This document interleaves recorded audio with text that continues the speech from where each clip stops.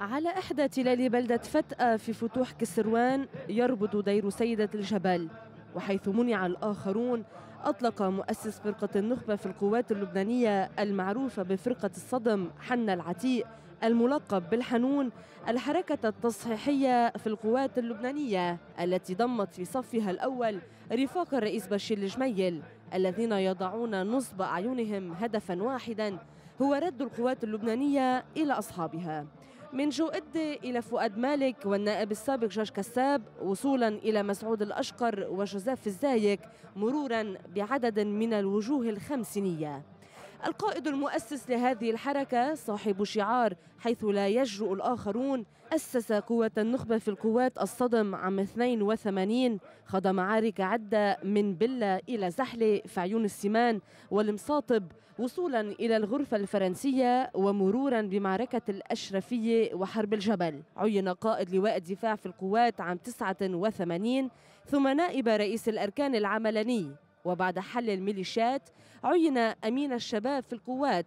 سجن عام 94 لفترة شهرين ونصف الشهر.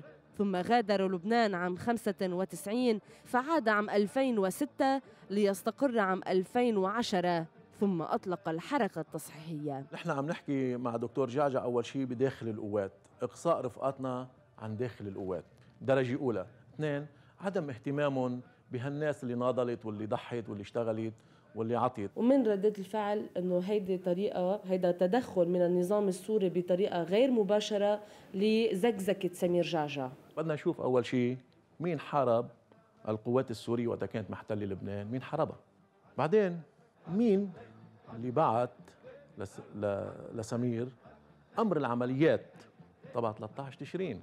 أمر عملية 13 تشرين اللي بعث له إياه غازي كنعان برابع جلسة سرية كانت له بغدراس نحن بعثنا اياه لنا ولا بعثوا لسمير أنتم أكرم إلى 14 أو إلى 8 من أذار؟ نحن لا 8 ولا 14 أنا بخطابي قلت نحن تحت رايه غبطة البطريرك الراحل من مؤسس الحركة التصحيحية إلى الأمين العام لقدام القوات جوزيف الزايك القائد السابق لوحدات دفاع بيروت وقائد جبهة العقورة وعيون السمان خاض معارك بيروت والكرنتينا وتل الزعتر وحرب الشحار وحرب الفنادق. كذلك رافق الرئيس بشير الجميل منذ البدء. لا للتسلط بالسلطة والرئيس إلى مدى الحياة نعم للمداورة بالسلطة نعم للديمقراطية بقلب الأحزاب. تحالفاته هي يعني آه، بشير جميل آه، يوم من الأيام حارب الوهابية السياسية لمن إجوا جربوا يعملوا شيء هون.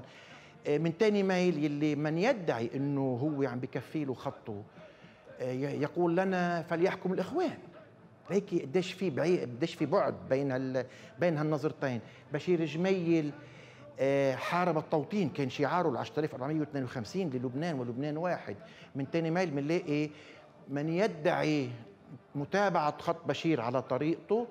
يوافق حسب ويكيليكس يوافق على توطين بين 130 و 150 ألف فلسطيني ولم يكذب ما كذب. يعني بكرة بانتخابات 13 بكون تعملوا 2013 ونحن لدينا ثلاثة أربع مرشحين هالمرة مش بس اثنين. بين قوات فتأة وقوات سمير جعجع واد يفصل بينهما يحلو لمصادر جعجع التي رفضت الإطلالة الإعلامية أن تعيد كل ما يحدث إلى الاستخبارات السورية التي لم توفر وسيلة لمحاصرة جعجع وإلغائه نتيجة تأييده للثوار السوريين. فيما قوات فتأة تفضل الرد بالوثائق والأدلة لتكشف حقيقة هذا القائد المزيف على حد تعبيرها. وإن غدا لناظره قريب. رشا الكرم قناة الجديد.